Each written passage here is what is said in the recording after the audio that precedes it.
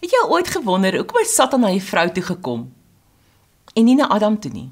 Adam was tog eerste geskape. En toe's die vrou uit Adam uitgehaal. Net vir interessantheid. Vrou, jy wat enkellopend is, jy is nie onvolledig nie. Dis die man wat soek. Jy hoef nie te soek nie. Want God het nie iets uit jou uitgehaal nie. Hy het jou die man uitgehaal en jou net so gelos. Hy het uit die man uit iets gehaal om jou te maak, om jou te formeer. Maar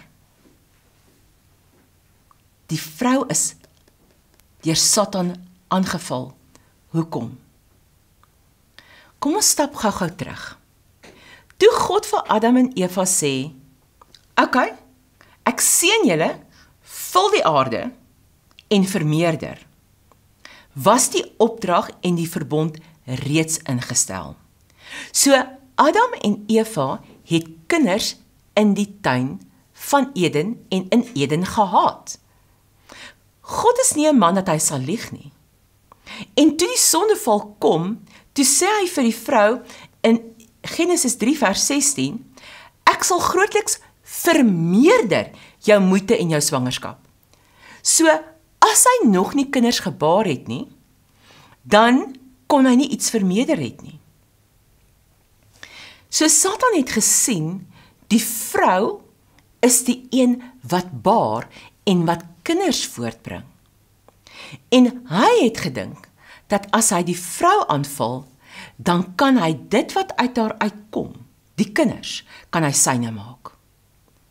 So hy val haar aan, hy praat met die vrou, hy ooreed haar om aan hom te onderwerp want hy glo dat die lewe wat sy dra, kan hy dan kry. Sy is aangeval omdat Satan die lewe, die kinders binne in haar gesoek het. Hy het geweet Adam is deel daarvan, maar as hy hom kry, kan die vrou nog steeds apart gaan en gaan sy nog steeds vermeerdering doen. En Satan besef, "What guy, die tuin van Eden besig om vol mense te raak." En hulle behoort nie by my nie. Ek het nodig om iets te doen om dit myne te maak. En hy val die lewe in die vrou se skoot aan. Hy wou die lewe in die vrou se skoot gehad het. En daarom kies hy die vrou mee te praat. Want hy het gedink van daardie oomblik af wat ek die vrou aan my kant kan kry, dan kan ek almal wat sy baar myne maak. En dit is hoekom die aanslag teen die vrou gekom het. En tot vandag toe is die aanslag teen dit wat in die vrou voortkom. Maar God kom en hy sê vir Satan: "Nee, uit haar skoot uit, die saad uit haar skoot uit sal jou oorwin." Reeds van die begin af het God vir Satan gesê: "Jy sal nie dit wat in die skoot van die vrou is kry nie." Want ek het die lewe geplaas. Vandag wat gebeur? Die aanslag is nog steeds teen die lewe wat in die vrou se skoot is. Want Satan soek daardie lewe om syne te maak. Maar hy's rarig nie baie slim nie.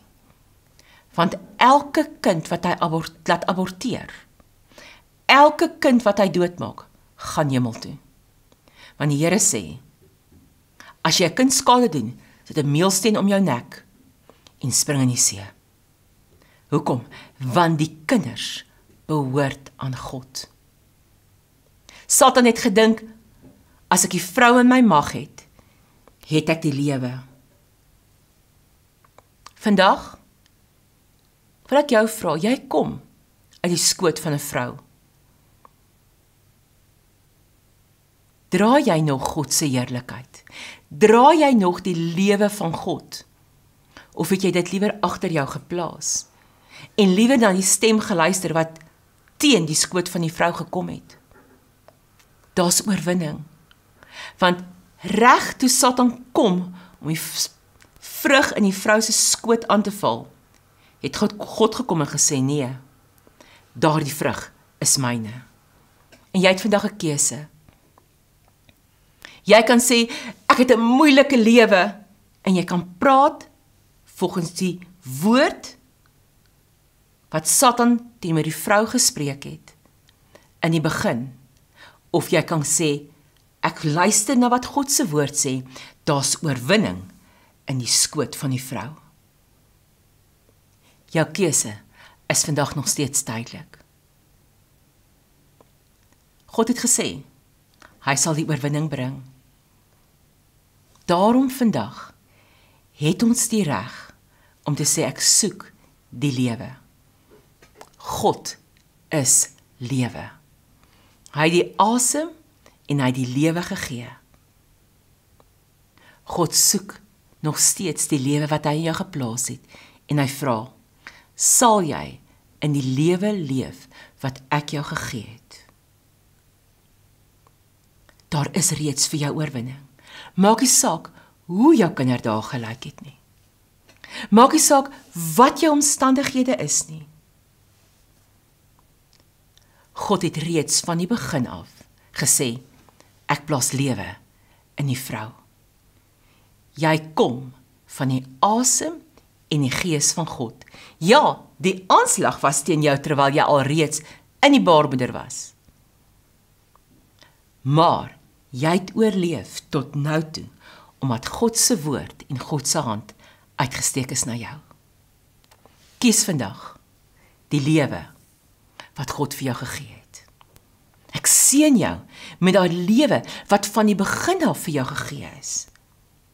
Wat baie interessant is, en dis wetenskaplik bewys as die saad van die man en die saad van die vrou bymekaar kom is daar hulle noem dit 'n monoksied ontploffing 'n lig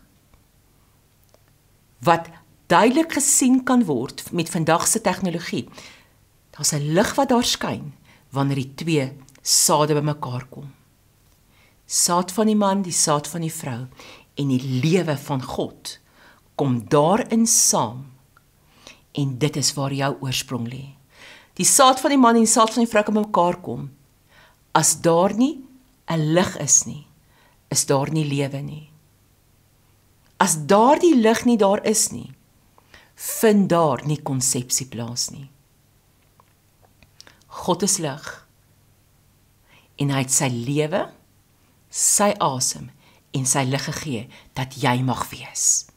Daarom leef jy en daarom kan jy kies om in die lig van God te stap. Want God het reeds van die begin af gesê, die lewe is in die vrou. Sy sal die lewe baar en die oorwinning gee. Jy het 'n keuse. Daarom sien ek jou met daardie kan ek dit so noem, daai ontploffing van lewe wat God gegee het die oomblik toe jy in die baarmoeder gevorm is. Dis sy lewe, dis sy lig, dis sy asem wat jou gemaak het. Aanvaar dit en laat sy lig, soos wat ek laasweek gepraat het, deur jou skyn en jy het oorwinning. Want jou aangesig is na God gerig. Wees lig. Wees asem. Wees lewe, want God gee dit vir jou. In Jesus naam. Shalom.